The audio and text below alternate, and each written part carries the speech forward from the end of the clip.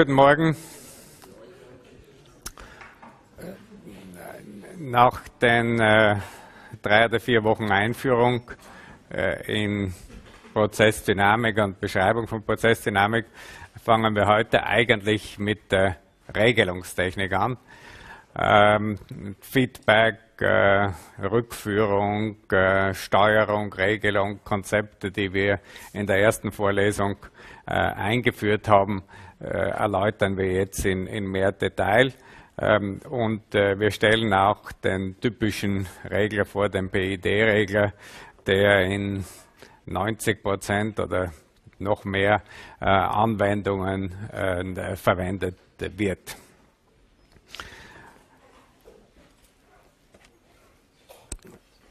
Zuerst ähm, äh, wollen wir äh, herleiten, äh, was wir am Anfang erwähnt haben, nämlich warum machen wir überhaupt Rückführung. Äh, und Sie erinnern sich vielleicht, wenn Sie in dieser ersten Vorlesung waren, dass ich dann ähm, die Regelung eines Aufzugs ähm, erläutert habe, äh, wo ich gesagt habe, wir können Steuerung machen äh, um irgendwo in die Nähe des äh, Stockwerks zu kommen und dann Regelung zur Feinabstimmung, weil Regelung den Vorteil hat, dass es die Modellunsicherheit ausgleicht. Und ähm, diese Ideen, auch wenn Sie es nicht damals gehört haben, äh, werden wir jetzt äh, in Detail noch einmal anschauen äh, und äh, explizite berechnen oder ableiten, was der Einfluss der Rückführung ist auf diese Sensitivität, wie wir es nennen werden und wie wir es definieren werden.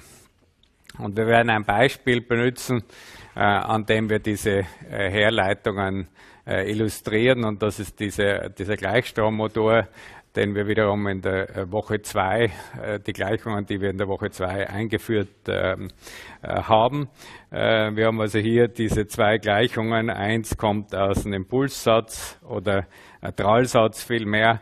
Ähm, dass die mechanischen, Sie können zurückgehen in Ihren Unterlagen, um diese Herleitungen zu finden.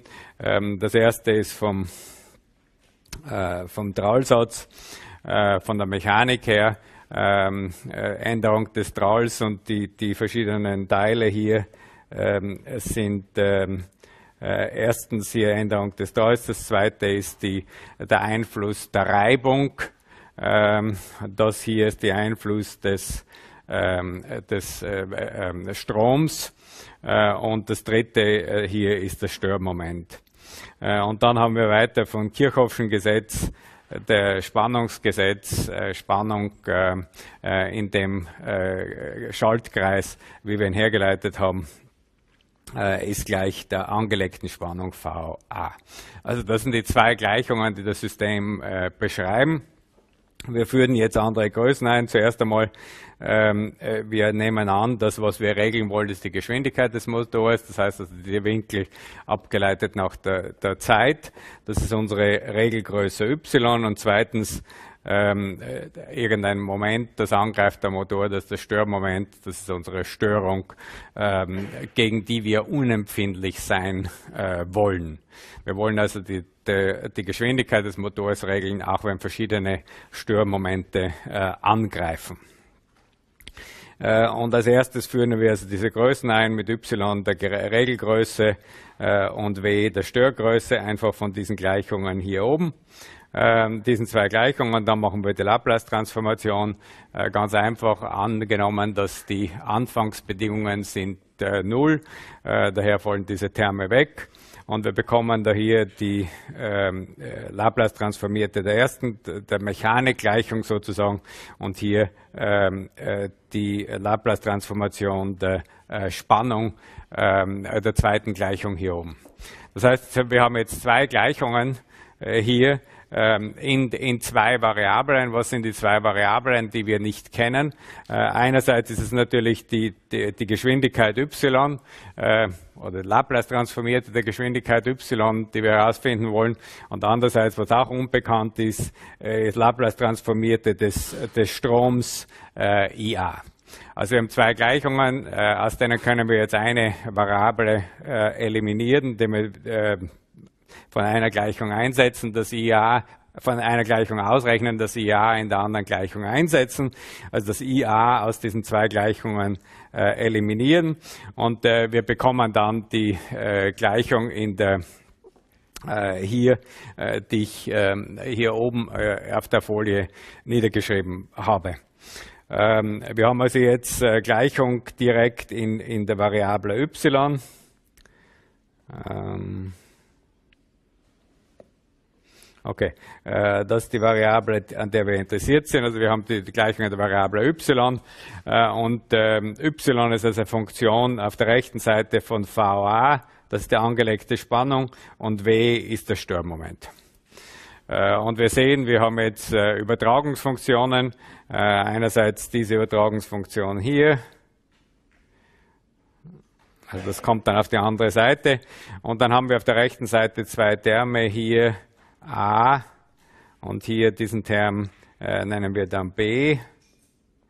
Und ähm, es sei vielleicht betont, und ich bin nicht sicher, dass das im, im äh, Buch, das Sie haben und woher das ist, äh, voll verstanden oder geschrieben ist. Dieses B ist eigentlich eine Funktion von S. Ne? Das heißt, dieses B ist nicht eine Konstante, sondern es ist eine Funktion von S. Es ist nicht direkt wichtig äh, für diese Ableitungen, aber es ist gut, das im, im Kopf zu behalten. Äh, und jetzt können wir natürlich die, die, das äh, umformen. Und was ich hier jetzt gemacht habe, ist dieses ähm, Polynom zweiter Ordnung da hier ähm, äh, faktorisieren.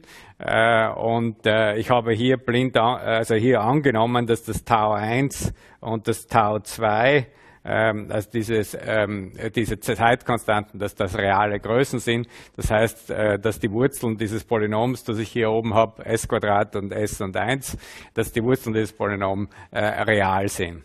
Äh, und wenn Sie anschauen jetzt die Gleichungen des Tau 1, Tau 2, äh, die ich bekomme für diese Faktorisierung, das wäre also 1 über Tau, das wäre eigentlich die Wurzeln dieser, dieses, dieser quadratischen Gleichung hier oben.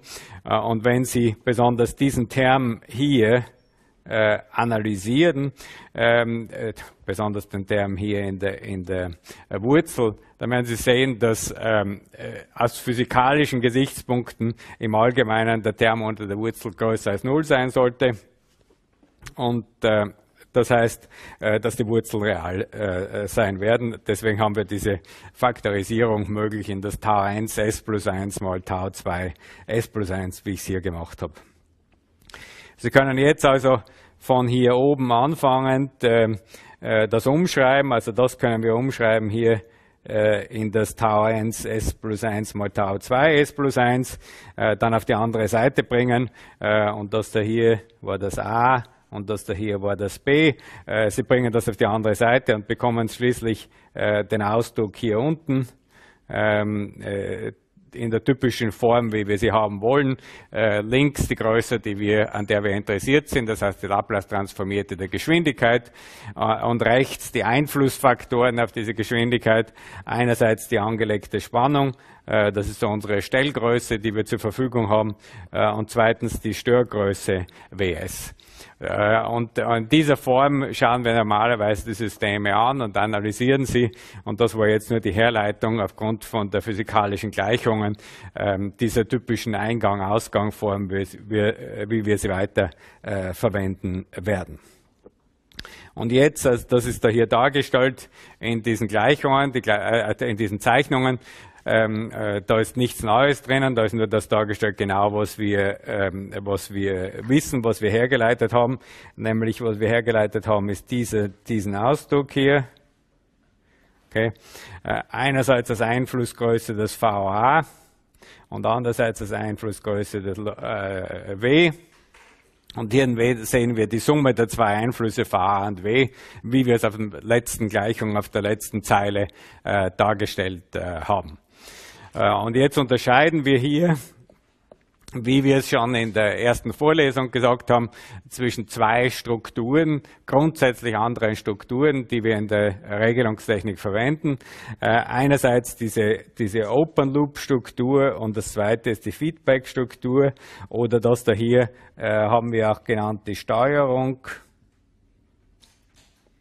Und das wäre die Regelung. Und Regelung äh, bedeutet diese Rückführung und Feedback, Rückführung äh, und die Steuerung äh, hat keine Rückführung.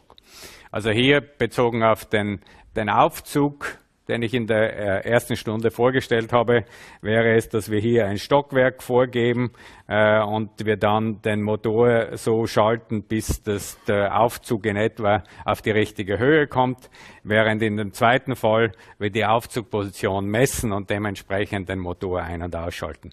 Hier in dem Beispiel hier ist die Motorgeschwindigkeit.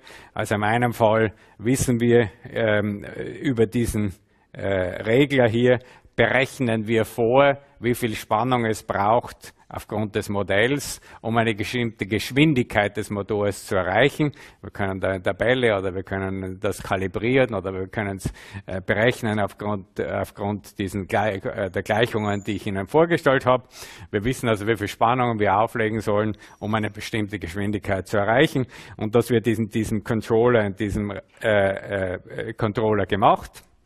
Und im zweiten Fall messen wir effektiv die Geschwindigkeit. Wir haben also einen Sensor hier, ähm, äh, der, der uns die Geschwindigkeit misst und dementsprechend äh, entscheidet der Regler, wie er die Spannung anpassen soll, um eine bestimmte Geschwindigkeit, das ist diese Reference Speed, R, äh, diese Reference Speed äh, zu erreichen. Das heißt, die grundsätzlich zwei verschiedenen ähm, Strukturen und wir wollen jetzt in der Analyse vergleichen, was sind die Vor- und Nachteile ähm, äh, dieser, dieser zwei Strukturen und wir wollen einerseits anschauen, äh, wie, wie das Verhalten der Strukturen sich unterscheidet unter Einfluss äh, dieser Störgröße W. Das ist eine Frage, die wir im einen Fall hier und im zweiten Fall hier, ne, da ist wieder diese Störgröße.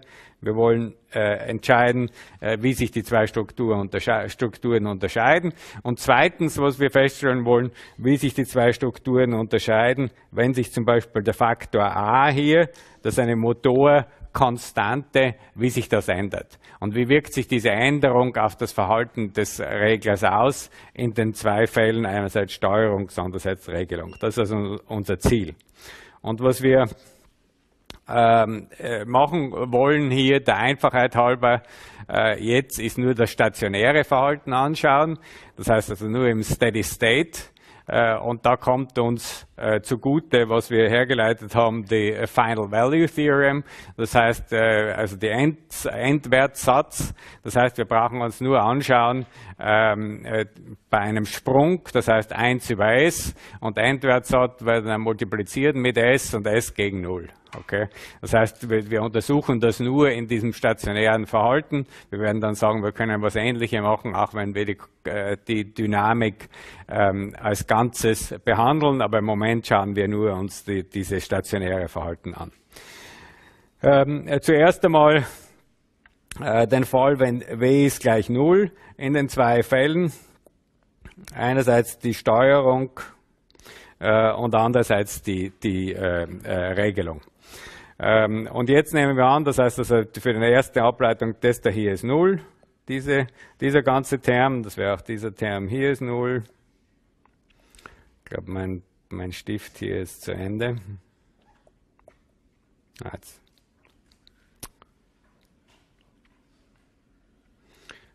Okay. Ja, dieser Term hier ist 0. Ähm, hier und wir schauen uns das Verhalten an.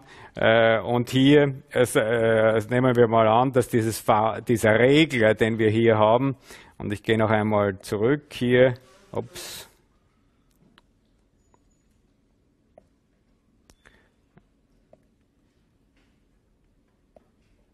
dieser Regler hier ist in beiden Fällen einfach eine Konstante und ich schaue jetzt nur das stationäre Verhalten an. Das heißt, wir nehmen eine Konstante. Natürlich ist es nicht unbedingt die gleiche Konstante, wie hier da, ähm, äh, also hier könnten wir sagen KS für die Steuerung und KR für die Regelung, äh, wird nicht gleich gewählt äh, werden.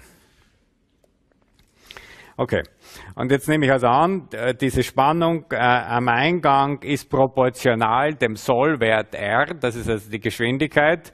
Das wäre, wie ich gesagt habe, ich berechne vorher irgendwie, wie ähm, sich der, eine bestimmte angelegte Spannung auf die Geschwindigkeit auswirkt und das ist, wie ich das K äh, bestimme aufgrund von Modellbetrachtungen. Äh, wenn, jetzt dieses, wenn ich jetzt annehme, äh, dass dieses Modell hier, äh, wie gesagt, ich schaue mir jetzt einmal das mit W gleich Null an, wenn ich annehme, dass dieses Modell korrekt ist, ähm, dann will ich hier, was ich erreichen will, ist, dass der hier R, äh, das soll der Sollwert, die Geschwindigkeit soll gleich der Referenzgeschwindigkeit sein. Äh, und wenn ich jetzt wieder stationär äh, betrachte, die ganze Sache, das heißt, Endwertsatz, das heißt S gegen 0. S gegen 0 wäre vom Endwertsatz, das hier geht weg. Okay, dann bekomme ich hier R ist gleich AV. Ne? Hier bekomme ich äh, R ist gleich AVA. Okay, ähm, wenn ich jetzt haben, wenn ich jetzt ausrechnen will, was soll ähm, äh, wie soll ich VA wählen, dann ist das klar, ich wähle VA, VA ist gleich R über A. Und wenn ich jetzt, äh, das heißt, ähm, äh, mein K, mein Wert K, den ich suche hier, ist gleich A.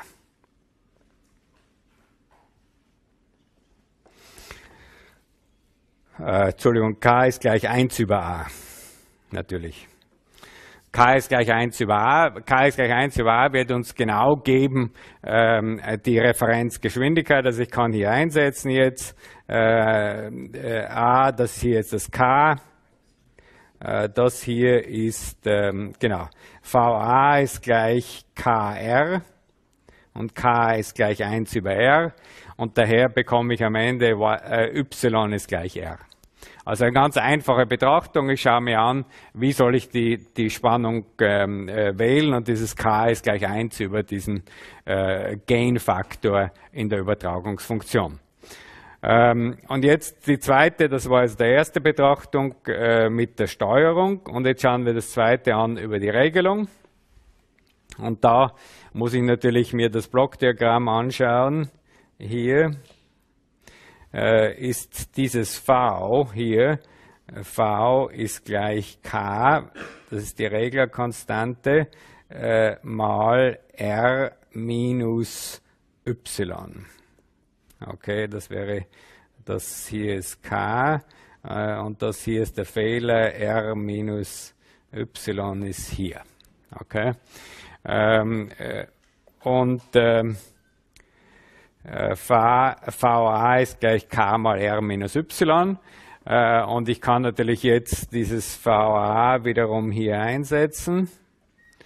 Ähm, Laplace transformiert.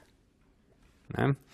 Äh, und ich kann diese Gleichung dann, und das hier ist 0, und ich kann das dann, oder auch nicht 0, hier ist es weiter behalten, ähm, und ich kann aus dem jetzt das für y lösen, die Gleichung, für y, für hier y lösen und bekomme den Ausdruck, den ich hier angegeben habe. Einfach von der Algebra, y ist jetzt äh, AKR plus BW äh, über dieses, diesen Nenner. Und jetzt kann ich mir noch einmal anschauen, äh, was passiert mit W ist gleich 0, also das W ist gleich 0 wäre das aus. Jetzt wieder Endwertsatz, t gegen unendlich, äh, R ist gleich 1 über S, multipliziert mit S, das heißt 1 über S und S kürzt sich, das schaue ich einfach an, wenn das gegen 0 geht, das wieder 0, das wieder 0 ähm, und das ist dann daher AK von hier mal R, mal die Referenz hier, AK mal R, über 1 plus AK. Okay? Das ist jetzt der Unterschied und Sie können jetzt vergleichen. Äh, einerseits hier YSS ist gleich R äh, und im zweiten Fall YSS ist gleich AK über 1 plus AKR. Das sind also die zwei verschiedenen Beziehungen. Einerseits für die Steuerung im ersten Fall, für die Regelung im anderen Fall. Und jetzt kann ich auch sagen, wenn natürlich AK sehr groß ist oder viel größer als 1, dann wird das ungefähr R sein. Dann ist dieser Term hier äh, das hier ist, ist vernachlässigbar, das 1, dann kürze ich das weg und ich kriege y ist etwa r. Also in der Regelung scheint es hier ähm, von dieser einfachen Betrachtung, es ist nicht so gut eigentlich wie die Steuerung, weil in der Steuerung bekomme ich YSS ist gleich R, ohne irgendwelche asymptotische Betrachtungen anzustellen. Im Gegensatz dazu bei der Regelung muss ich AK oder A ist gegeben, K sehr groß machen, um diese Beziehung YSS ist gleich R herzustellen. Also das ist, wie ich diese äh, Parameter wählen äh, würde. Diese Betrachtungen waren jetzt alle mit W ist gleich 0. Okay. Und jetzt werden wir das wiederholen ähm, und W ungleich 0 äh, machen und schauen, wie sie ähm, und diese zwei Strukturen, Steuerung und Regelung, vergleichen mit W ist ungleich 0. Okay. Und im ersten Fall kriege ich dann einfach AKR, das ist von vorher, ne? Plus BW, diesen Einfluss hier. AK war wie vorher abgeleitet 1. Äh, das heißt, ich bekomme hier R plus BW. Und wenn ich mir jetzt den Fehler ausrechne, Delta Y, oder die Abweichung, dann bekomme ich also Y Steady State minus R, minus den Sollwert vom Y, äh, bekomme ich hier BW. Also der Fehler Delta Y, wenn ich eine Störung habe, ist gleich BW, ist gleich dem Einfluss der Störung. Natürlich unabhängig von dieser Steuerung ist der Einfluss, weil die Steuerung sieht nichts von dem Fehler. Wenn wir noch einmal zurückgehen, alles das, was das heißt, ist diese Steuerung stellt die Motorgeschwindigkeit äh, ein. Äh, auf der anderen Seite gibt es eine Störung und die Störung stört die Motorgeschwindigkeit und der Einfluss der Störung hat nichts zu tun mit der Steuerung. Sie sehen den Einfluss der Störung direkt in der Motorgeschwindigkeit. Und jetzt im zweiten Fall, wir schauen uns das gleich an, sehen Sie, dass wenn diese Störung auftritt, bemerkt natürlich die Regelung was davon, weil es geht in diesen Kreis hinein und die äh, Regelung wird dementsprechend das VA verstellen. Und daher nehmen wir an, dass die Empfindlichkeit gegenüber der Störung abnehmen soll, wenn wir dieses K richtig wählen. Und das, was wir hier machen, also wir haben den ersten Fall BW und im zweiten Fall, wie, ich, wie wir hergeleitet haben gerade früher, das hier ist AK über 1 plus AK. Ähm, AK über 1 plus AK und dann kommen wir noch einen Term BW dazu, aber der den gleichen Nenner hat. Äh, äh AK über 1 plus AKR, das war wie vorher, plus das hier ist jetzt der Einfluss der Störung. Und was wir jetzt vergleichen, ist einerseits der Einfluss der Störung ähm, äh, y äh, minus r ähm, äh, im Falle der Steuerung, in der Falle der Regelung. Ähm, im, im, ersten Fall, ähm, die, also dieser Einfluss Vergleich. Im ersten Fall ist es B. Im zweiten Fall mit der Regelung ist der Einfluss der Störung um einen Faktor 1 über 1 plus AK reduziert. Okay? Und das ist hier zusammengefasst und das ist extrem wichtig. Diese Regelung reduziert die Auswirkung der Störungen um einen Faktor 1 plus AK. Okay. Sie können auch sagen, das ist eine, eine Übertragungsfunktion hier 1 über 1 plus AK. Und diese Übertragungsfunktion, wenn das jetzt im allgemeinen Fall Funktionen von S äh, sind, nennt sich die Sensitivität oder die Sensitivity.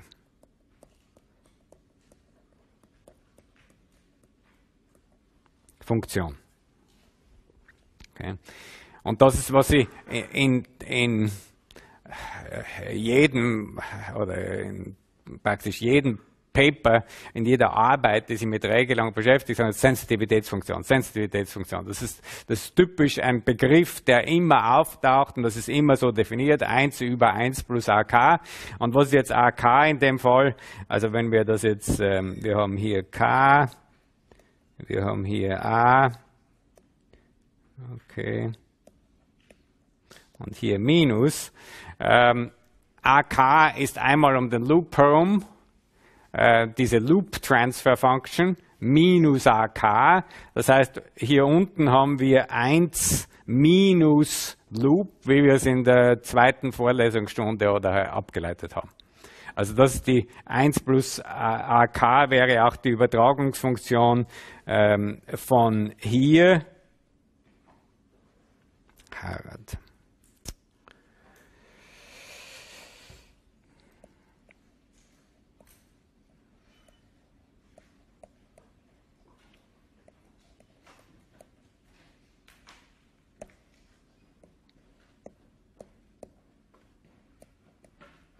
Ka minus ähm, wäre die Übertragungsfunktion zwischen hier, der Störung und dem Ausgang hier, ähm, wäre zwischen denen wäre 1 über 1 plus äh, k. Diese Übertragungsfunktion und das ist die Sensitivität oder Sensitivity. Okay, das ist der große Unterschied zwischen äh, Regelung und Steuerung. Und wir sehen natürlich, wenn jetzt k groß ist, dann wird dieser für k groß, wird dieser Einfluss der Steuerung, wenn wir diesen Gain stark hoch äh, wählen, äh, groß wählen für die Regelung, dann wird der Einfluss der Steuerung reduziert, äh, der Einfluss der Störung reduziert, ähm, äh, wie wir es hier von diesem Ausdruck äh, sehen. Äh, jetzt das zweite ist, wenn wir uns anschauen, Stellgrößenveränderungen. Äh, Entschuldigung, vorher äh, schauen wir noch Sensitivität an. Sensitivität, ähm, Empfindlichkeit gegenüber Änderungen im System selbst. Okay, also jetzt haben wir eine unbekannte Störung. Das Wichtige ist, diese Störung, die auftritt hier ähm, in dieser Beziehung, äh, wir messen sie nicht, wir kennen sie nicht. Das ist irgendeine Störung, die auf das System einwirkt. Und wir wissen von dieser Herleitung, dass ganz egal, was das W ist, wenn wir K groß wählen, verschwindet der Einfluss dieser Störung. Es, wir hängen, es hängt nicht davon ab, wie genau wir jetzt B kennen, das ist vollkommen irrelevant, ob wir jetzt, die, wenn wir die Störung auch nicht messen, die Regelung reduziert den Einfluss ohne Wissen über die Störung, die auftritt. Das heißt, die Regelung, wir verwenden die Regelung, um unsere Unwissenheit zu kompensieren. Oder unser Unwissen zu kompensieren. Wir wissen nicht genau, was vorgeht. Wir kennen nicht die Störung. Wir können sie nicht messen, wir wissen sie nicht, wie sie einwirkt, aber mit der Regelung können wir das kompensieren, auch wenn wir nichts wissen. Das heißt, wir verwenden die Regelung immer, um unsere um unser Unwissen zu kompensieren. Und genauso, was auch auftreten könnte, natürlich immer unser Unwissen, ist Unwissen, Unwissen, wie sich das System selbst verhält. Das heißt also, wie genau die Geschwindigkeit abhängt von der angelegten Spannung. Das ist irgendeine Funktion, wir wissen das nicht genau. Und wir möchten natürlich auch sicher gehen, dass wir diese Geschwindigkeitsregelung gut machen können, auch wenn wir diesen Zusammenhang zwischen Spannung und Geschwindigkeit nicht gut kennen. Und daher untersuchen wir jetzt, wenn sich dieser, was passiert, wenn diese, dieser Zusammenhang ändert.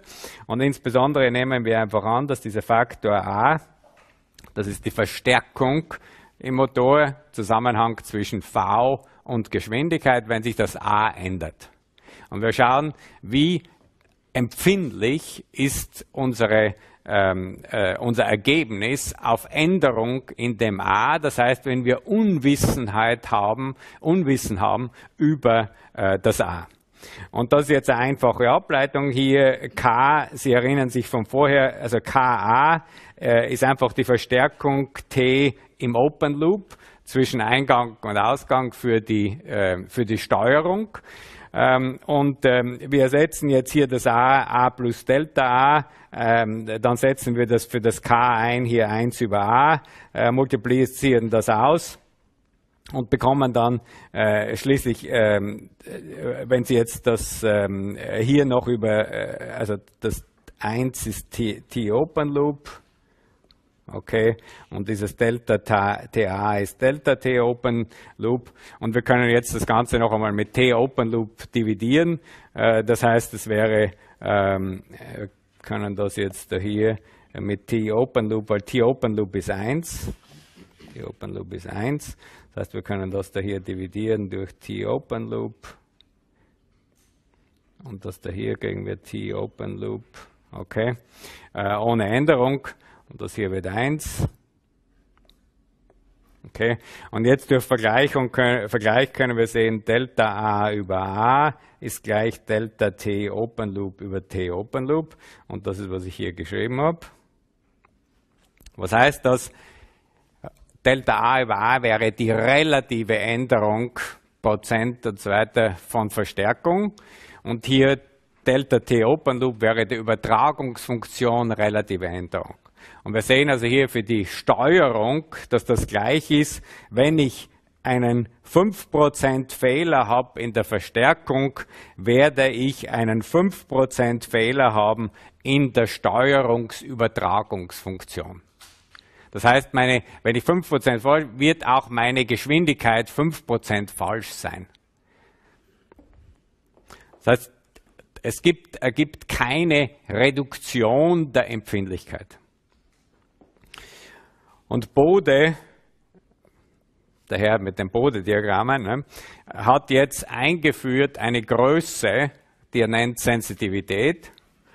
Äh, und zwar hat er gesagt, wir wollen wissen, äh, das Verhältnis, wie sehr sich dieses Delta T, wie sehr sich das verändert, wie viel ist der Prozentänderung in der Übertragungsfunktion, wenn ich eine Prozentänderung habe in der Verstärkung.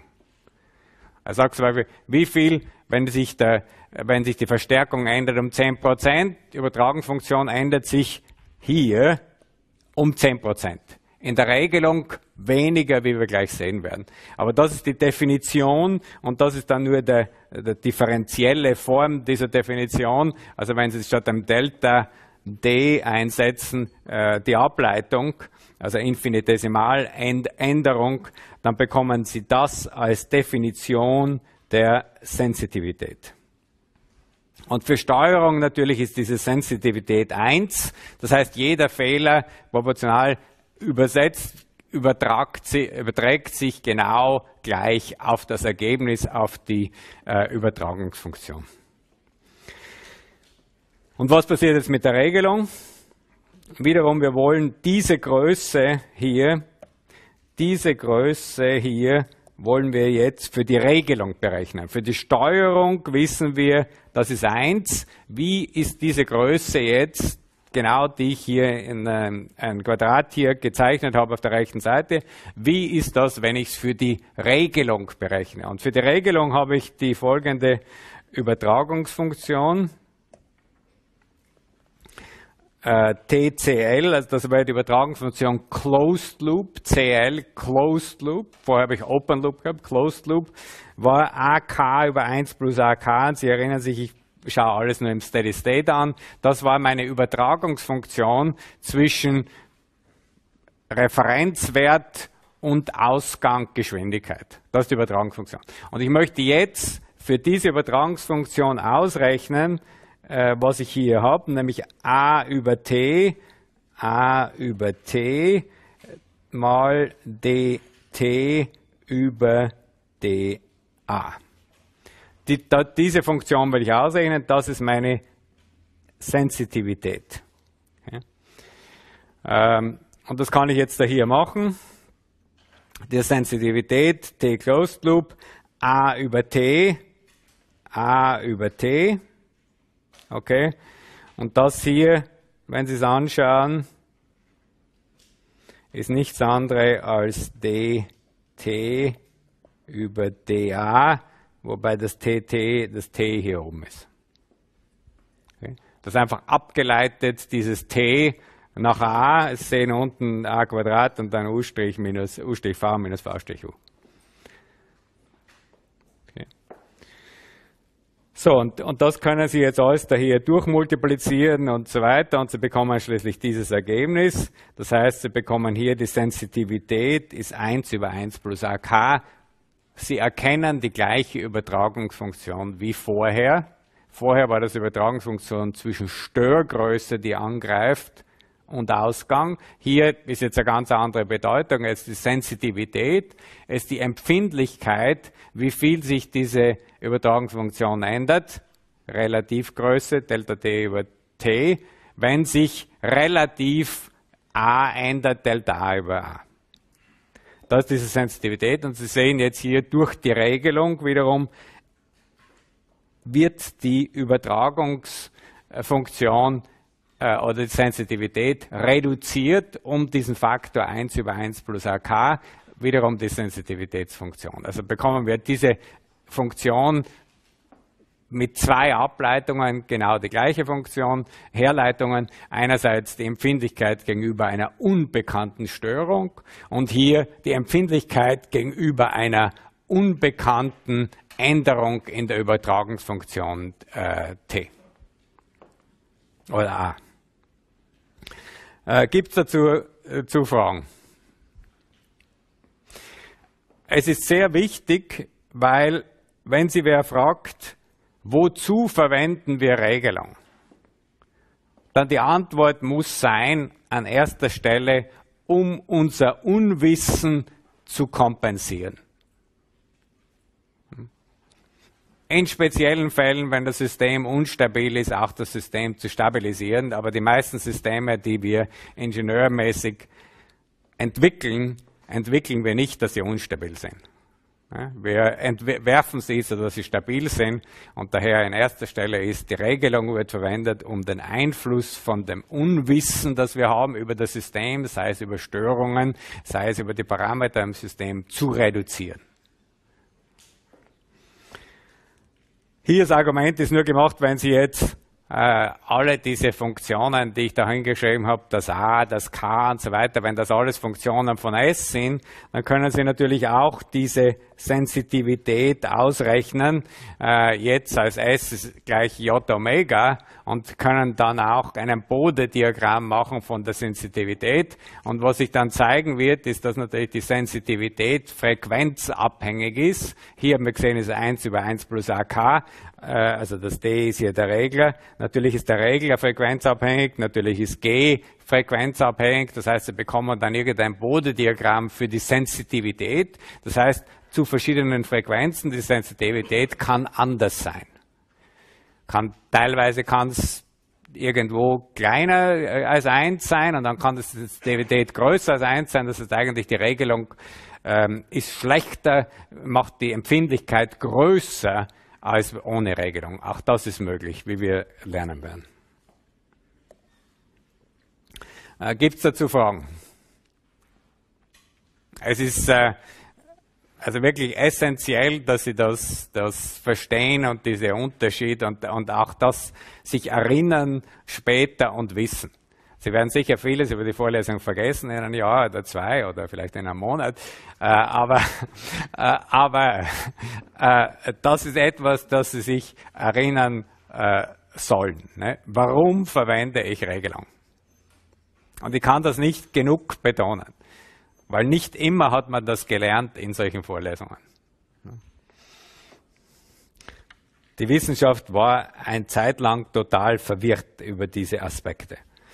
Ähm, zum Glück hat sie zurückgefunden zu dem.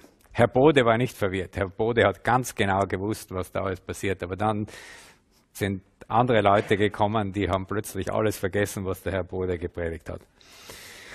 So, ähm, Jetzt noch einmal zurück zu dieser, äh, zu dieser Übertragungsfunktion, wie ich sie hergeleitet ähm, habe.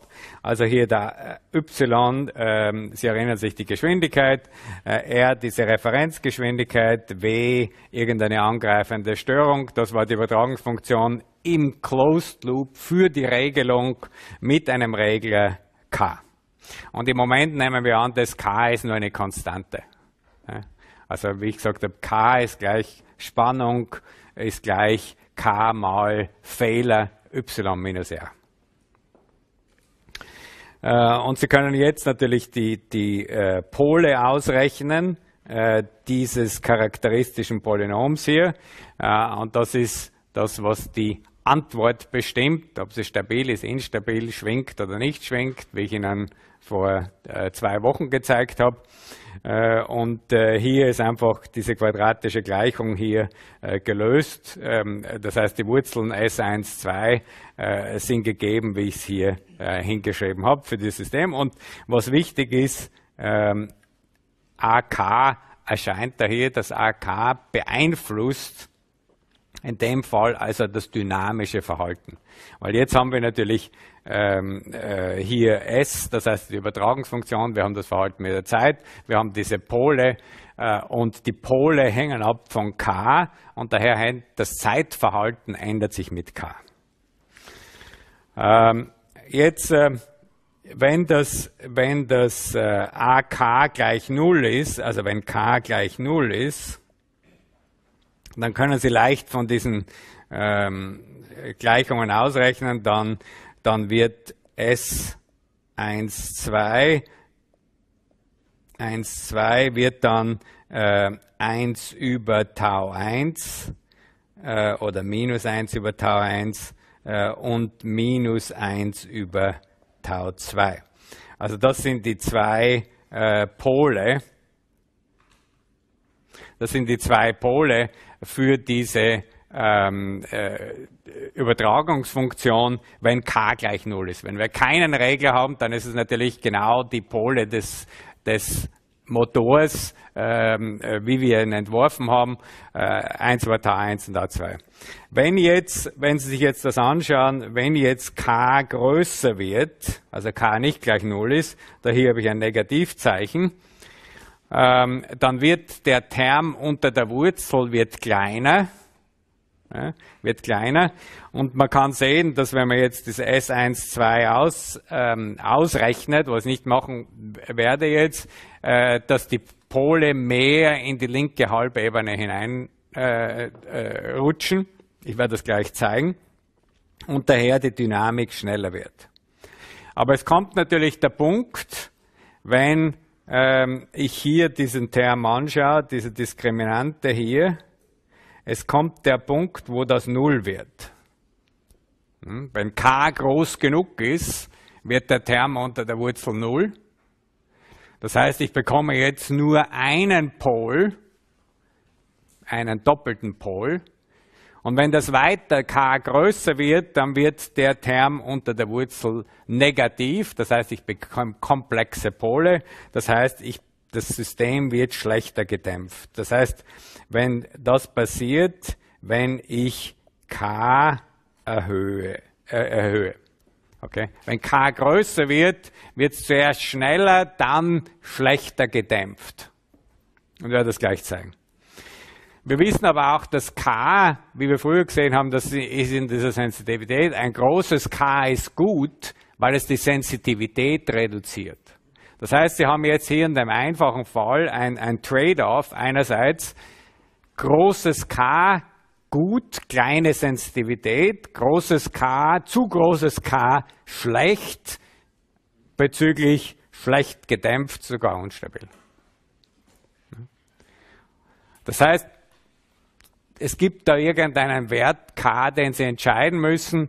Sensitivität schlecht, gut, dynamisches Verhalten schlecht, gut. So irgendwo da drinnen, wo jetzt der Wert da drinnen ist, das ist abhängig vom Problem, äh, abhängig von den Spezifikationen. Wir schauen uns jetzt das genau an an diesem Wurzelortkurve. In Englisch heißt es auch Root Locus.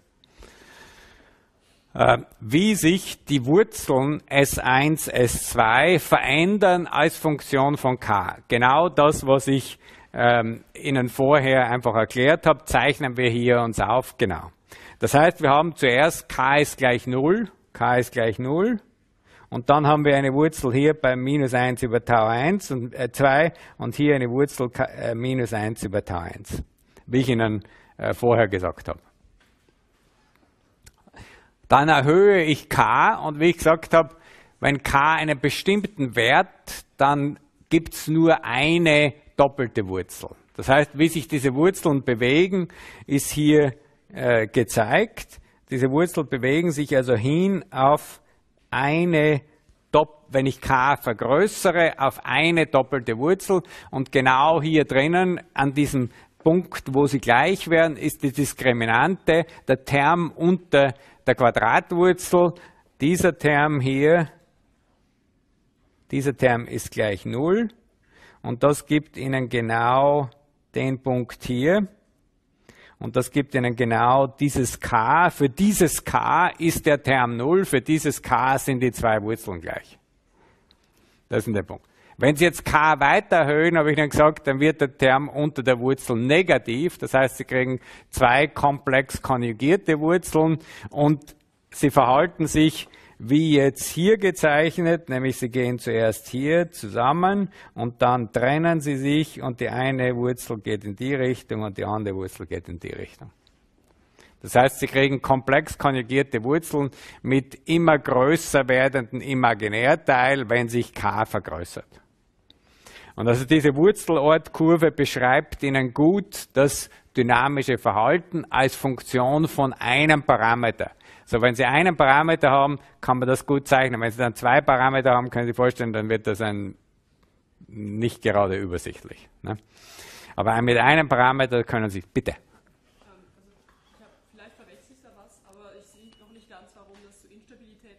In dem Fall nicht. In dem Fall nicht. Im allgemeinen Fall ja. Sie sagen ganz richtig. Wir werden sehen jetzt im nächsten Fall, wo wir den Regler etwas komplizierter machen, kann sein. Hier haben Sie ganz recht. Hier natürlich nicht, weil hier sehen wir, dass die Wurzeln immer in der linken Halbebene bleiben. In dem Fall hier bekommen wir schlechtere Dämpfung, ne? weil die Dämpfung wiederum, Sie erinnern sich, ist ähm, dieser Winkel hier, ne? ähm, Sinus von dem Winkel war gleich die, die Dämpfung. Äh, und ähm, so, wie die Wurzeln hinaufgehen, wird die Dämpfung schlechter und, und, und, und schlechter. Äh, aber Unstabilität tritt hier äh, nicht auf. Ähm, Sie wissen auch, dass von der, äh, Aus, von der Anstiegszeit, ähm, Entschuldigung, von der, von der ähm, also mit diesem Verhalten, was wir bekommen, ist eine kürzere Anstiegszeit. Wenn Sie zurückgehen auf diese Vision, wir kommen schneller auf den, ähm, äh, auf den ähm, Steady State, auf den Endwert hin, aber schneller Anstiegszeit schneller das erste Mal, aber dann dauert es länger, bis die Schwingungen abklingen. Also das heißt, die, die Ausregelzeit äh, wird dann länger. Die Ausregelzeit hier die Ausregelzeit hier und kürzere Anstiegszeit, längere Ausregelzeit hier unten, längere Ausregelzeit.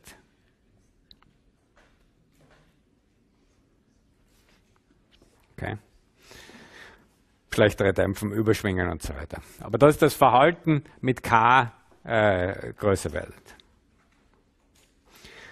Wie gesagt, wir haben also hier das Trade-off zwischen ähm, Machen wir Pause. Es nicht gehört. Oder haben Sie es gehört? Ich glaube, war keine Glocke. Dann machen wir 10 Minuten Pause, fangen weiter um 11.15 Uhr.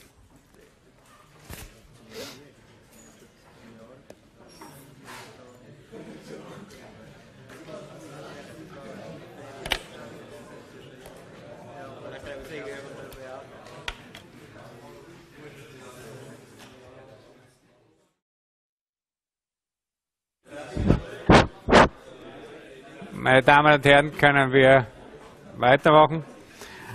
Also ich habe hier kurz, kurz erklärt, was passiert, wenn ich k vergrößere. Ähm, und wenn ich k vergrößere, in dem Fall, ähm, wie Sie richtig äh, bemerkt haben, äh, wird zwar die Antwort zuerst besser und dann schlechter, aber in dem speziellen Fall wird sie nicht unstabil. Sie wird zwar fast unstabil im Sinne, dass ich fast nur dann Schwingungen habe, die sehr langsam äh, aus, ähm, äh, also, ähm, ausgedämpft werden, äh, aber es wird nicht unstabil. Ähm, aber äh, wie gesagt, das das ist so ein guter Punkt zwischen einem nicht zu kleinen K, damit ich eine gute ähm, Sensitivität bekomme und nicht einen zu großen K, äh, damit ich keine schlechte Antwort bekomme. Ne? Äh, und äh, das heißt, und hier ist das illustriert, äh, genau an dieser Übertragungsfunktion, die Sie haben. Es ist an, angenommen ein Tau 1, ein Tau 2, ein bestimmtes A und B und dann eine Störung und das hier k ist gleich 0,1. Okay? Das heißt, in dem Regler ist, nehmen wir jetzt an 0,1 und das ist das Störverhalten, das Sie sehen. Wenn Sie also eine Störung, wenn jetzt irgendein Drehmoment angreift an diesem äh, äh, Motor, das ist diese Störung bis minus 0,1, dann sehen Sie zwei Sachen. Erstens geht das auf minus 5 und ich betone diese Punkte zum Vergleich mit dem nächsten Diagramm. Äh, minus 5 hinunter ist ein sehr äh, starker Einfluss, der natürlich über dieses B50 äh, kommt. Und zweitens, wenn Sie sehen, wie lang dauert das, es dauert, sagen wir der Einfachheit halber, ungefähr 0,1 äh, äh, Sekunden, ähm, bis die Störung dann zu einem äh, stationären Verhalten, wieder, wieder zu einem stationären Verhalten führt. Also Sie haben eine recht große äh, Abweichung und Sie haben diese Antwortzeit von 0,1. Ähm, und jetzt gehen wir und vergrößern diesen K. Das vergrößern diese Verstärkung und wie ich Ihnen gesagt habe vorher, es wird schneller, es wird mehr schwingend, es gibt weniger Fehler und genau das sehen wir natürlich in der Simulation. Wir haben jetzt K ist gleich 10, Faktor 100 vergrößert. Und Sie sehen jetzt wieder die gleiche Störung, das heißt W ist minus 0,1 äh, hier. Äh, und Sie sehen, was jetzt passiert. Zuerst einmal kriegen Sie hier einen stationären Wert auf 0,05. Vorher war es 0,5 oder 5 sogar. Ähm, äh, ähm, einen großen Fehler, Sie haben jetzt einen geringen Fehler, einen geringen Einfluss der Störung, weil das äh, wünschenswerte wäre null, dass die Störung überhaupt keinen Unterschied macht in der Geschwindigkeit. Hier sehen Sie einen viel reduzierten Fehler, aber Sie sehen, dass es schwenkt und Sie sehen aber, dass die Antwortzeit viel kleiner ist. Die Antwortzeit ist, sagen wir da hier, 0,02 im Vergleich zu 0,1 vorher. Das heißt, Sie kriegen schnellere Antwort, mehr Schwingen, weniger Fehler. Genau das nur hier illustriert an dieser Simulation, wenn wir k größer wählen um einen Faktor 100. Und hier ist das gezeigt, jetzt wenn ich keine Störung habe, sondern nur eine Sollwertänderung, die Geschwindigkeit ändern will um 1, Sie sehen dann hier wiederum mit diesem großen äh, K, Sie sehen hier praktisch keinen Fehler, das ist praktisch 1, aber Sie sehen doch gewaltiges Überschwingen von 60 ähm, äh, Prozent, was normalerweise nicht gewünscht äh, wär, wäre, wie in diesem Fall, aber nur zur Illustration. Und hier also, wie, wie verändern wir mit K? K langsam, großer Fehler, schnell, kleiner Fehler, irgendwo dazwischen gibt's was Gutes, aber das ist, man sieht, man ist eingeschränkt in der Qualität, die man erreicht. Entweder großen Fehler oder große Schwingen. Ähm, äh, und um das wirklich zu verbessern, müssen wir den Regler in dem Regler mehr Freiheitsgrade einführen, den Regler komplexer machen, damit wir mehr Einfluss nehmen können auf die Antwort. Und wir leiten jetzt her den PID-Regler in schrittweise PID-Regler. Das, was wir bis jetzt gehabt haben, dieses K hier, ist der Proportionalregler, das, was wir jetzt analysiert haben, proportional, weil er einfach das sagt, U ist proportional zum Fehler. U ist gleich K. Natürlich die Übertragungsfunktion ist dann auch einfach K. Äh, und hier habe ich wieder das Diagramm von vorher ähm, äh, ge gezeichnet. Ähm, jetzt, jetzt wirklich nur wiederholt, ähm, äh, was ich vorher schon gesagt habe. Kleiner stationärer Fehler geht auf Kosten schlechteren transienten Verhaltens mit diesem einen Freiheitsgrad, wie ich es analysiert habe. Jetzt die folgende Erweiterung machen wir und die Erweiterung ist zuerst ein I-Regler, ein Integralregler. Ähm, Jetzt, was macht der Integralregler? Wir werden dann zu einem PI-Regler gehen, also das P und das I, aber im Moment schauen wir uns an nur den, den I-Regler. Was macht der Integralregler? Der sagt jetzt, vorher haben wir gehabt, Sie erinnern sich, U ist gleich K mal E. Das heißt, Stellgröße proportional zum Fehler. Was sagen wir jetzt hier? Stellgröße U ist proportional, das ist einfach eine Konstante, zum Integral des Fehlers. Das heißt, ich addiere, ich integriere den Fehler mit der Zeit und stelle mein U ein proportional zum Integral des Fehlers. Was ist der große Vorteil? Dieses Integral, wenn jetzt der Fehler hier ist, dann natürlich wird dieses Integral, das wäre jetzt das e, und hier unten könnte ich jetzt zeichnen das Integral von e und ich könnte jetzt sagen, es fängt bei 0 an. Es wird jetzt hier positiv, äh, dann ähm, nimmt es langsamer zu, dann nimmt es nicht zu in diesem Bereich, dann nimmt es wieder ein bisschen zu ähm, und äh, dann wird das Integral hier, wird das Integral dann konstant. Hm? Was heißt das? Dass das Integral nimmt zu oder ändert sich, solange e ungleich 0 ist. Wenn e ungleich 0 ist, ändert sich das u.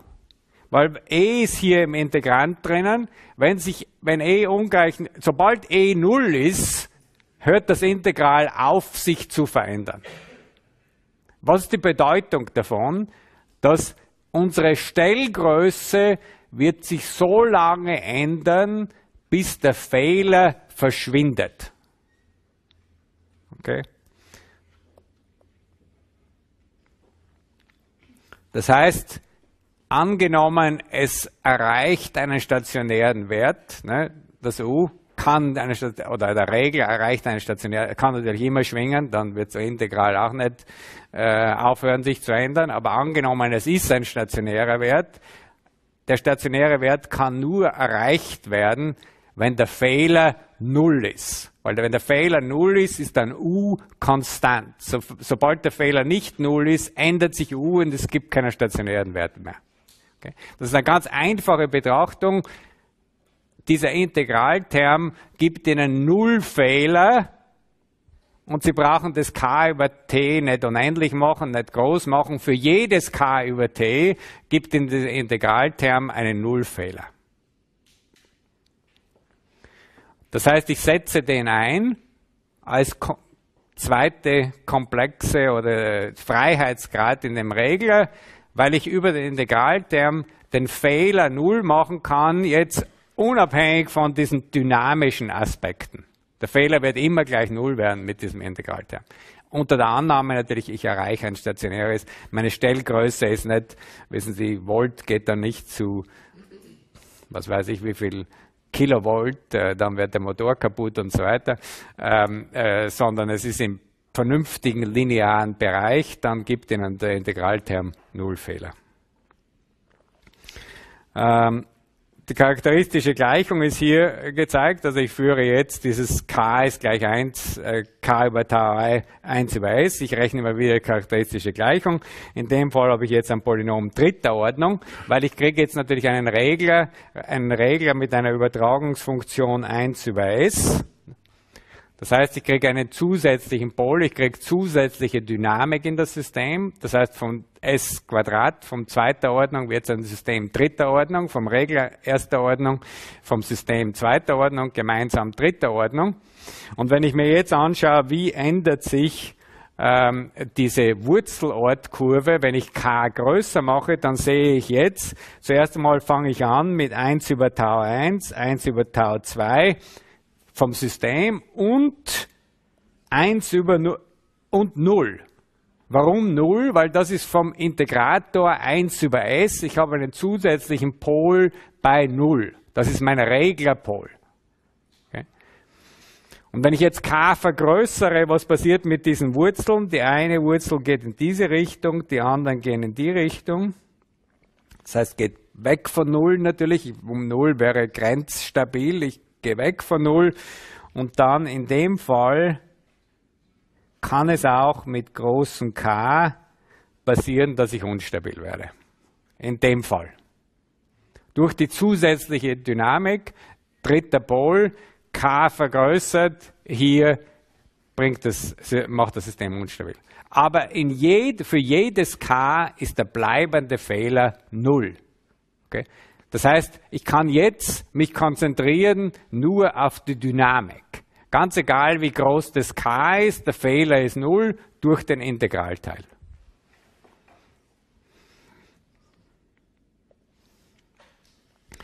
Normalerweise verwenden wir die Integralregler nicht allein, sondern zusammen mit proportional. Und das wäre jetzt dieser PI-Regler. Und da gibt es Standardformen, wie die Parameter definiert sind. Was ist jetzt proportional, was ist integral? Äh, das ist nicht eindeutig, aber Meistens schreibt man es in dieser Form, das heißt, das k, unser Proportionalfaktor, multipliziert die ganze Term da hinten. Und hier haben wir dann einen speziellen Teil äh, 1 über ti, ähm, der, der ähm, angibt, wie stark sich dieser Integralteil auf, den, äh, auf die Stellgröße auswirkt. Äh, und das wäre die Übertragungsfunktion. Ähm, und was Sie jetzt sehen, was passiert jetzt mit dieser charakteristischen Gleichung? Sie sehen, dass jetzt dieser Term ist nur eine Funktion von k, das heißt, Sie können diesen Koeffizient in der charakteristischen Gleichung beeinflussen, unabhängig von irgendwas anderem, und Sie können diesen Koeffizient der äh, charakteristischen Gleichung über t beeinflussen. Das heißt, Sie können zwei Koeffizienten, die anderen zwei sind fix, ne, aber zwei Koeffizienten können Sie beeinflussen über die Wahl von k und, und t. Ähm, also das war und i und jetzt kriegen wir noch das d. Also wir verstehen, was P, warum der, das K, wie sich auswirkt. Wir verstehen das TI, das ist der Integralterm. Je kleiner TI ist, das soll ich noch betonen, natürlich wie das geschrieben ist, je kleiner TI ist, desto größer ist diese äh, Term hier, aber unabhängig vom TI kriegen Sie immer Fehler 0. Sie kriegen nur Fehler 0 schneller oder, oder langsamer, abhängig, äh, abhängig von dem TI. Ähm, das heißt, Integralterm ist für asymptotisches Verhalten gegen unendlich, Fehler 0. Der Differentialterm ist mehr das kurzfristige. Der Differentialterm sagt Ihnen hier, dass Sie das Stellgröße äh, proportional zur Ableitung des Fehlers machen. Jetzt, was ist das für ein Sinn intuitiv? Wenn, jetzt der, wenn ich einen Fehler messe und der Fehler plötzlich sehr viel sich zunimmt, dann der Proportionalterm, dieser Differentialterm äh, schlagt aus stark sofort, weil er sieht den Trend, der Trend geht steil nach oben, deswegen machen wir eine schnelle Stell Schnellgrößenveränderung, um das zu verändern. Das heißt, er hat einen gewissen antizipativen, einen gewissen vorhersagenden Charakter. Mit schneller Änderung regiere ich stark. Mit langsamer Änderung reagiere ich wenig. Das muss dieser Differentialteil. Und ähm, wir sehen also hier äh, PD-Regel, also ähm, D-Regel wäre einfach äh, Multiplikation mit S, PD wäre K, ähm, K und das TD und dann die, die ähm, äh, äh, Laplace transformierte davon. Und hier sehen wir jetzt eine typische Antwort.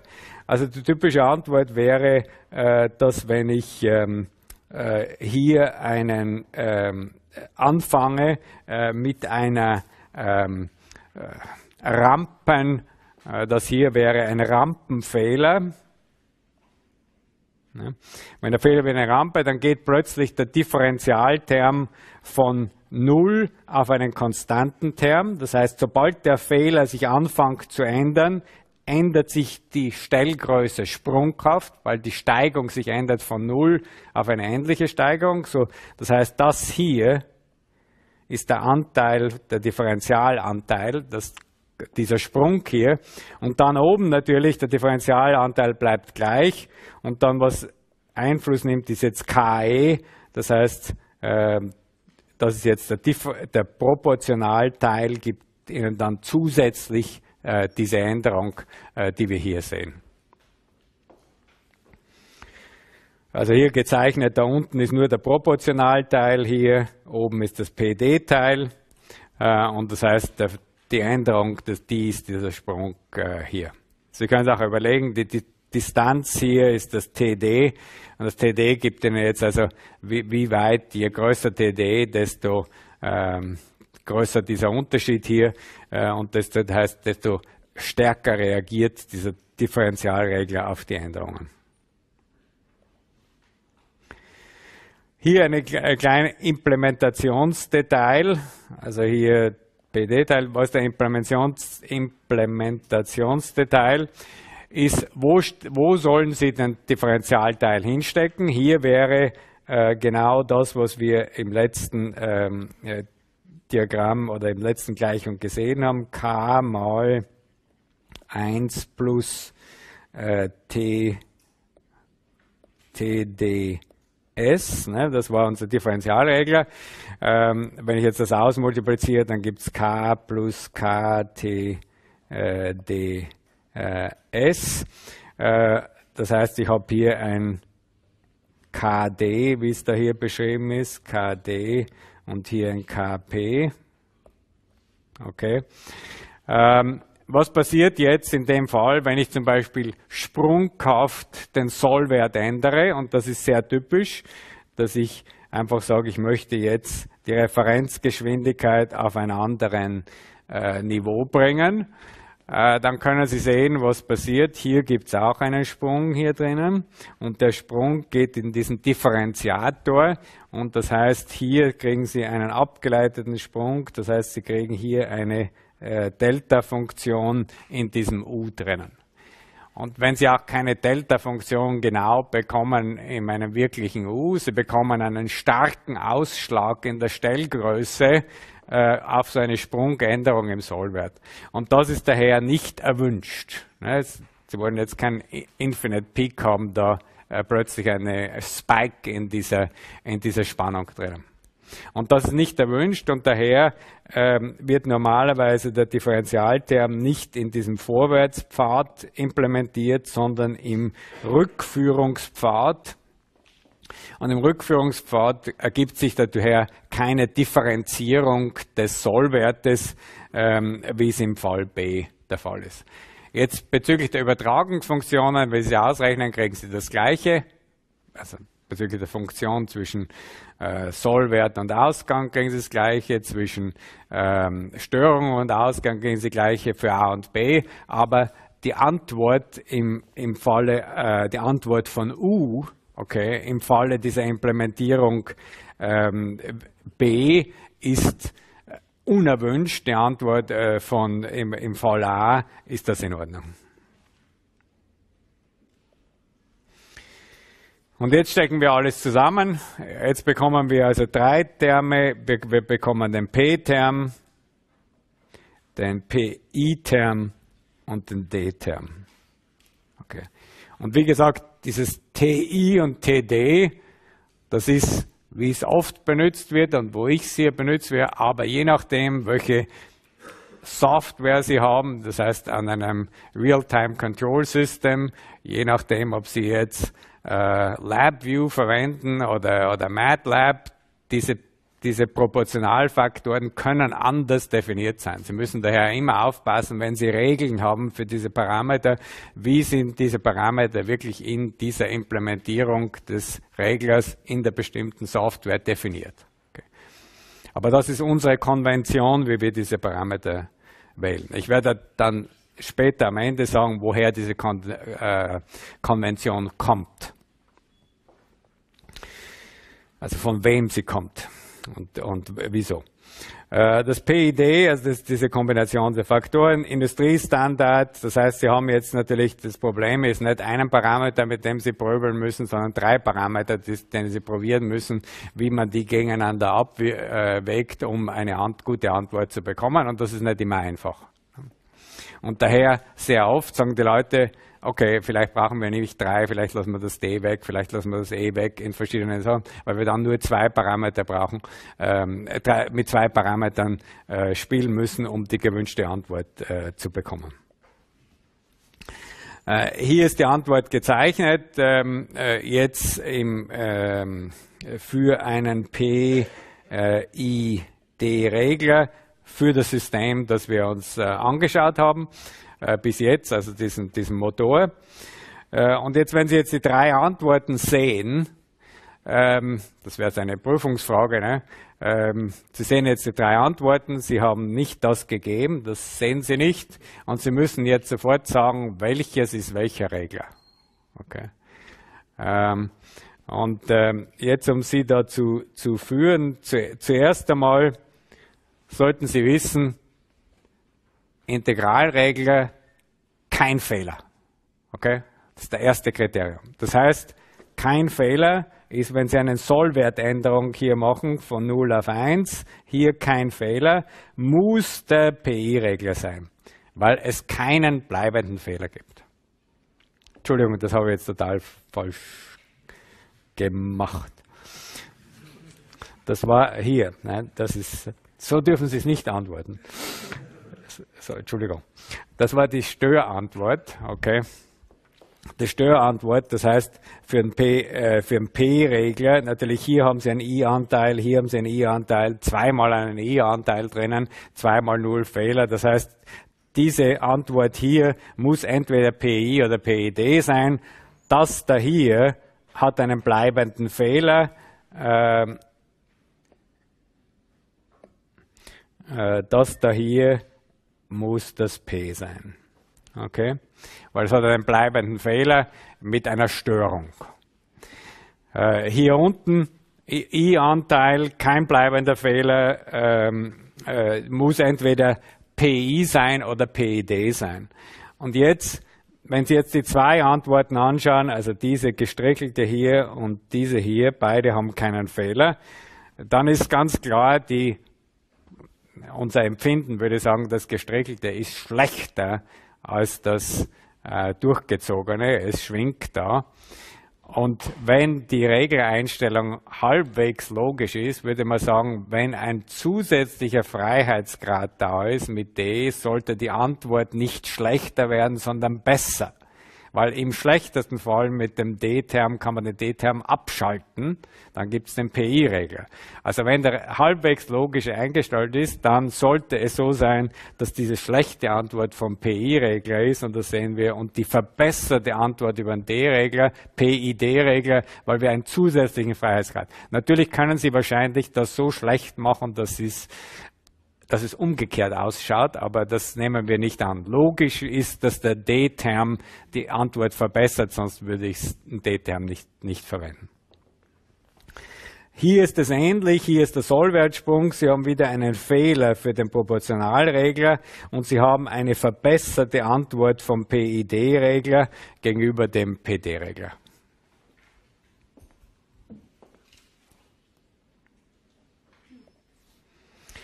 Das ist jetzt ein bisschen die historische Sache. Historisch hat nicht irgendein Mathematiker gesagt, bitte. Klar. Hier oder weiter? Nein, hier. Ja. Ähm, ist es jetzt einfach Zufall, dass der P-Regler da auch null Fehler hat? Er hat nicht null Fehler. Da hier. Er hat etwas, einen kleinen Fehler. Ah, ja. Okay. Ne? Das, das, ist ein kleiner Fehler einfach, aber es ist nicht null. Jetzt, historisch, diese Regler wurden nicht entwickelt, weil irgendein Mathematiker das gesagt hat, P, PID und äh, Laplace-Transformation und so weiter. So, historisch hat man was gebaut, okay? Irgendwelche clevere äh, Ingenieure haben was gebaut und das, das ich Ihnen jetzt nicht erklären will und wahrscheinlich nicht erklären könnte, äh, ohne weiter nachzudenken, ist ein PID-Regler pneumatisch. Das heißt, das heißt, jedes Element hat seine Dynamik. Das sind solche Bälge, die sich also mit Luft ausdehnen oder zusammenziehen. Sie haben hier Federn, die Sie verstellen können. Sie haben hier eine Drosselklappe, die Sie verstellen können.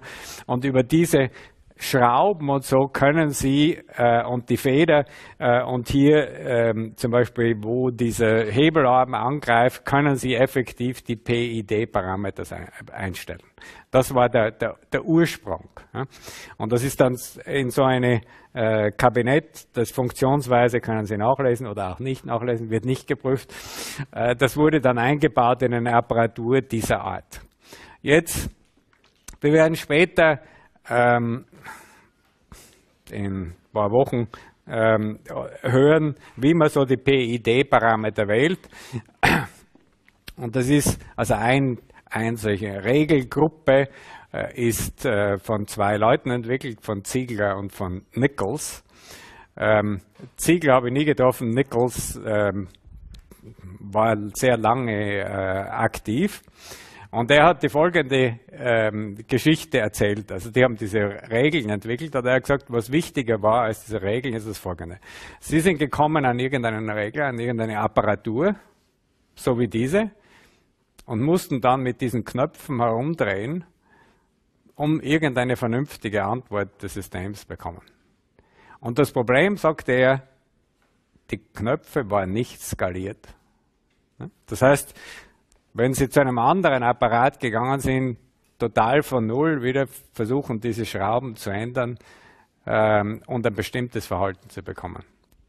Und effektiv, Sie haben dann, Nichols, Sie haben dann diese Knöpfe so skaliert auf diese TI, TD und K-Faktoren, die wir jetzt in dem Regler haben. Das heißt, Sie haben diese Skalen eingeführt. Das heißt, man konnte jetzt von einem System aufs andere übertragen und sagen, ah, das K muss ich so wählen, es war nicht K, 1 über K, aber ist egal. K muss ich so wählen, TD. Das gibt mir dann eine bestimmte Antwort. Vorher war das für jedes System anders. Und aufgrund dieser Skalierung konnten sie dann Regeln entwickeln, wie ich die Antwort des Systems anschaue und dann diese Parameter wähle. Aber sie haben eigentlich eingeführt, dass man überhaupt das skaliert. Vorher war es irgendeine Schraube, an der man äh, gedreht hat. Ähm, bezüglich diesen Schrauben und, und äh, Theorie muss ich aber auch sagen, auch jetzt noch ist Schraubendrehen, vielleicht in Software. Und zwar zum Beispiel bei Automobilentwicklung, ähm, äh, Herstellung, und jetzt nicht der VW-Fall, das ist ein separates ähm, Kapitel. Ähm, da gibt es in jeder Automobilfirma gibt es sogenannte Calibrators. Okay, und Calibrators sind Leute, die dann sich ins Auto setzen und dann so und so viele Schrauben, das sind jetzt Software-Einstellungen haben, die jetzt gehen und sagen, okay, das ist nicht ganz richtig, jetzt muss ich das ein bisschen verstellen, hier Softwareparameter hier hochsetzen. Das ist am Ende vom, vom erzeugten Fahrzeug, aber natürlich nicht für jedes Fahrzeug, für, einzelne heruntergenommen. Calibrator schaut an, wie soll ich diese Parameter durchprobieren. Okay? Da gibt es nichts, keine Theorie, was wir da sagen. Das ist einfach manuell, diese Leute, da gibt es wenige Leute, wissen Sie, vielleicht ein Dutzend oder, oder zwei, die machen nichts anderes als diese Calibration von Sachen am Automobil, bevor es dann in, äh, also dann sind die Parameter fix, dann wird es äh, natürlich für die anderen, ähm, äh, anderen ähm, Exemplare dieses Modells. Aber diese Calibration existiert noch immer am Ende. Ja, natürlich will man das reduzieren, so weit wie möglich, aber man konnte es nicht eliminieren. Warum? Weil man kein Modell hat, das genau das Verhalten vorhersagen kann, genug genau, dass man das Kalibrieren äh, eliminieren kann. Natürlich braucht man jetzt viel weniger Kalibrieren als vielleicht vor 10, 20 Jahren, aber das Kalibrieren ist immer noch da. Und das schaut nicht so aus wie hier, aber es ist noch da. Jetzt, wenn wir Zeit haben, äh, und wir haben Zeit, ich gebe Ihnen diese Zeit nicht, ich schenke es Ihnen nicht, sondern wir werden jetzt schnell das nächste Kapitel anfangen, äh, weil das nächste Kapitel lang ist und ähm, wir können das jetzt benutzen. Auch teilweise ist es sowieso Wiederholung ähm, von äh, dem, was Sie schon besprochen haben.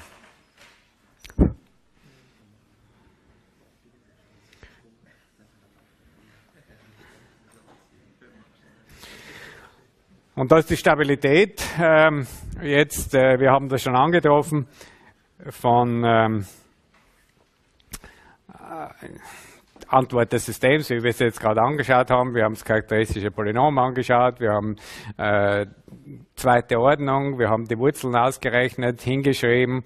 Ähm, das heißt, allgemein sollten Sie wissen von äh, dem, was die ähm, Assistenten letzte und vorletzte äh, Woche gemacht haben, äh, dass wir ähm, folgenden Satz haben über die Stabilität, also linear zeitinvariante Systeme, das ist alles, was wir hier äh, betrachten, ist dann und nur dann asymptotisch intern stabil, wenn alle Pole des Systems in der offenen linken Halbebene liegen. und das Wichtige ist asymptotisch stabil, das heißt, geht gegen Null. Ähm, und ähm, offene linke Halbebene, wichtig zu betonen. Äh, also nichts an der Imaginärachse ist erlaubt als in der linken Halbebene. Und diese charakteristischen Gleichungen, also die Wurzeln der charakteristischen Gleichung, Nennerpolynom, äh, sind die Pole äh, des Systems, die Pole, die wir hier äh, betrachten. Das heißt, Sie müssen finden, Sie schauen der charakteristischen Gleichung, um die Stabilität zu analysieren, müssen Sie diese Pole äh, finden, müssen Sie die Pole des Polynoms finden. Und ähm, jetzt ähm, sagen Sie natürlich, keine Kunst, MATLAB-Pole gibt mir ähm, Problem gelöst. Ne? Das war nicht immer so. Ähm, äh, deswegen diskutieren Sie aber nicht, weil wenn viele Sachen waren nicht so und wir brauchen es nicht mehr uns darum kümmern.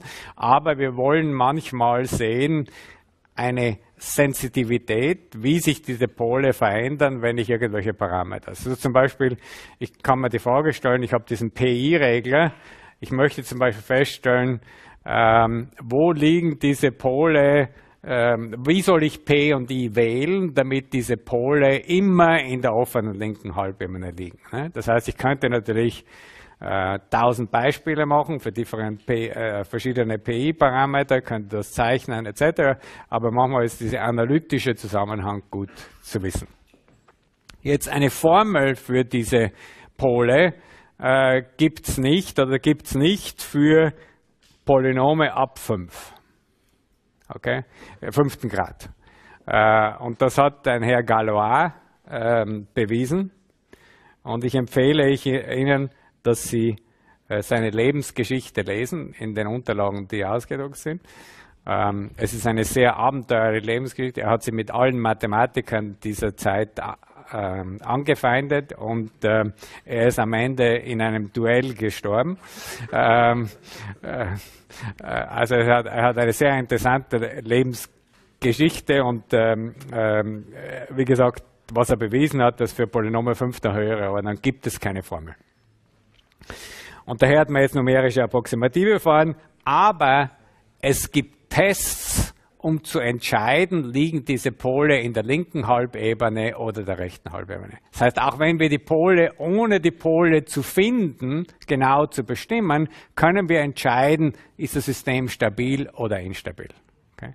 Und da wurden zwei Tests, also zuerst die Methode von Routh und dann die Methode von Hurwitz, ähm, entwickelt, unabhängig voneinander, um zu entscheiden, ob die Pole in der linken oder rechten Halbebene liegen.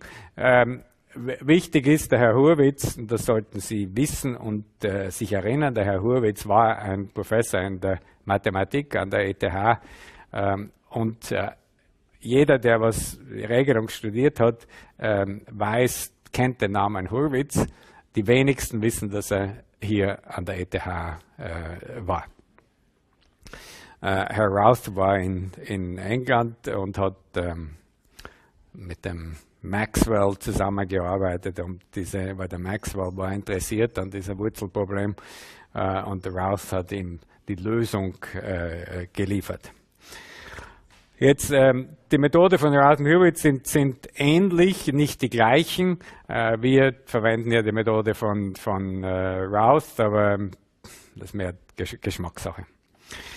Ähm, jetzt vom Stabilitätskriterium. Ähm, zuerst einmal folgende Beobachtung und Sie sollten das selbst für sich äh, äh, ausprobieren oder überlegen. Äh, die Beobachtung ist, dass wenn Sie so ein Polynom haben und wir werden das normalisieren, das heißt, wir werden die Polynome immer so schreiben, dass der erste Koeffizient hier 1 ist mit dem höchsten Ordnung und die anderen sind äh, A1, A2, A1. Ähm, also wir wollen normalisieren. Äh, und die erste ähm, ist, wenn Sie ähm, notwendige Bedingung für Stabilität ist, dass AI größer als 0 ist, dass alle Koeffizienten größer als 0 ist. Und das können Sie sich leicht überzeugen, ähm, äh, was passiert, wenn ein Koeffizient, ähm, was passiert, äh, wenn Sie faktorisieren das Polynom, wenn Sie annehmen, das Polynom faktorisieren, dann rechnen Sie aus, wie ist der Ausdruck, äh, wie schaut A1 aus, A2 aus und so weiter. Und dann werden Sie finden, äh, dass wenn einer diese Koeffizienten zu bekommen aus der Faktorisierung, äh, kann nur negativ sein, wenn auch eine Wurzel in der rechten Halbebene ist.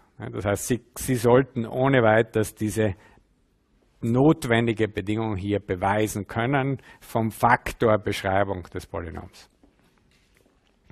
Und das Zweite, was Sie vielleicht sogar noch leichter sich überzeugen könnten, ähm, wenn ich ein Polynom zweiter Ordnung nehme, wo ich natürlich die Quadratformel verwenden kann, äh, um diese Wurzeln zu bestimmen, können Sie äh, sehen, dass für ein Polynom zweiter Ordnung wenn alle Koeffizienten positiv sind, sind alle Wurzeln in der linken Halbebene immer und umgekehrt. Alle Wurzeln in der linken Halbebene, Koeffizienten positiv. Das heißt, für zweiter Ordnung ist diese Bedingung hier, Koeffizienten positiv, notwendig unhinreichend. Für Polynome höherer Ordnung ist die Bedingung nur notwendig. Ja, und daher war jetzt die Sache, wie können wir für ein Polynom hier feststellen, äh, ob die ähm, Wurzeln alle in der rechten Halbebene liegen. Und ähm, das machen wir dann nächste Woche. Aber wir werden das nicht herleiten, ähm, sondern wir werden einfach das Ergebnis zeigen von Herrn, von Herrn Routh. Die Herleitung würde zu lange dauern für diese äh, Vorlesung und für diesen Zweck. Ne? Und das ist einfach ein Test, der Ihnen dann sagt, wie viele Wurzeln links und wie viele Wurzeln rechts. Okay? Nichts anderes. Guten Appetit.